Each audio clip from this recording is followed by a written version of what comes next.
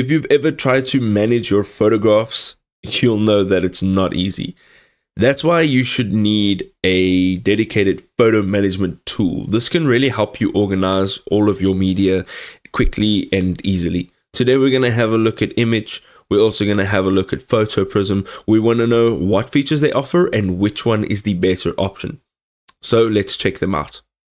So, Immich is a self hosted platform for backing up and managing your personal media collection. It actually offers Google photo like functionality with um, absolute complete privacy. You can browse, search, organize um, all of your photos as well as videos while maintaining full control of all of your data. So there's no third party access to any of your stuff.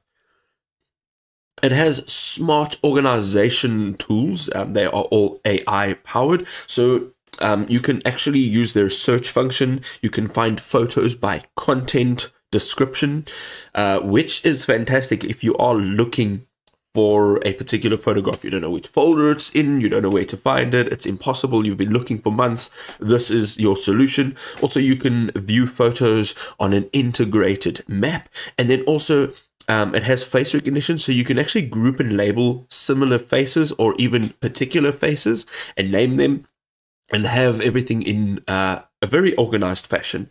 Um, it works effectively on um, modest hardware, which is fantastic. Their face recognition runs on your own server, again, keeping sensitive biometric data private.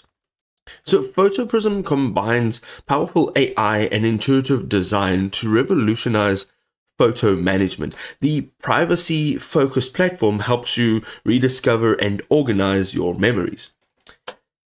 It has uh, some awesome AI uh, features. Um, it has automatic tagging, so the technology actually identifies objects, scenes, as well as people. Your photos are actually organized. Um, without any manual effort. Also, it does have face recognition, so the system learns to identify people across your collection, um, finding photos of friends, um, family members, or if you know uh, you're looking for that one particular photograph and you just can't find it, this is the tool for you. Also, you can search by location, color, quality, or even the type of content, finding more specific memories, uh, which is a lot quicker and if you do have a vast library, it is perfect. And there you go, ladies and gentlemen. There are so many options available. There's tons of software available. There's so many apps available.